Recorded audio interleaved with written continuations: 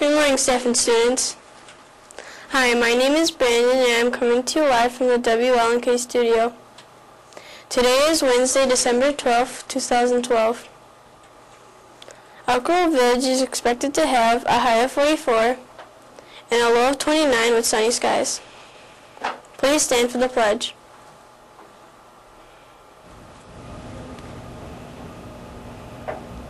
I pledge allegiance to the flag of the United States of America and to the republic for which it stands, one nation, under God, indivisible, with liberty and justice for all. And now for the Link Pride Pledge. I promise to respect myself and the rights and properties of others.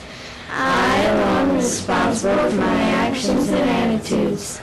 I pledge to do my best in all times to be a positive role model. Our pledge people for today are Morgan, Abigail. Sammy. Shruti.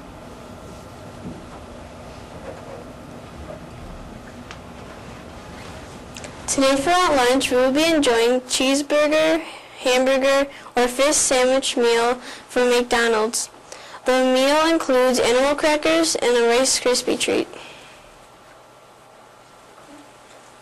School store will be open today for the 4th, 5th, and 6th grade students to shop.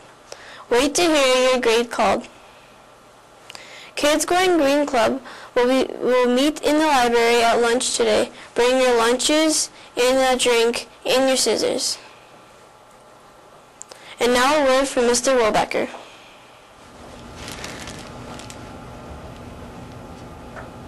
Good morning, everybody. Happy Wednesday. It's me, Mr. Sweaterbecker here. I mean, Mr. Woolbecker, excuse me. Enjoying my sweaters, of course. Uh, I hope you are finding ways to be safe, respectful, and responsible each and every day here at Link.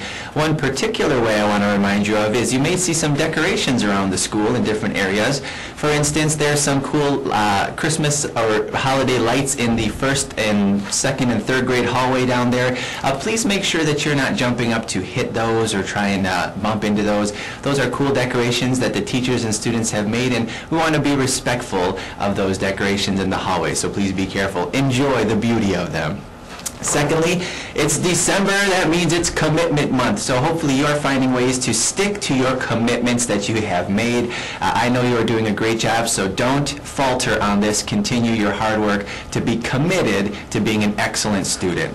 One way that you have shown your commitment is in our uh, respectfulness of the washroom area. And so I have some letters here to pull. I'm actually going to pull two today because it sounds like we didn't pull one yesterday. I got the word from Mr. Darrell that yesterday and the day before were clean. So you have earned two letters. I know a lot of you think you know what it says. Now that's great, but remember, you still can't get the incentive unless you get all of the letters. So you got to keep up this hard work. You're doing great. Here are our two letters for today. The letter T and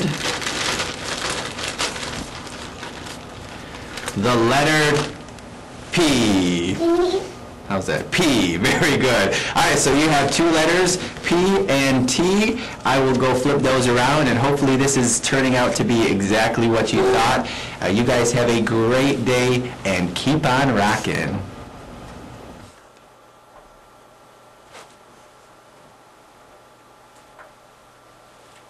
Thank you for tuning in to Channel 15 for your morning news.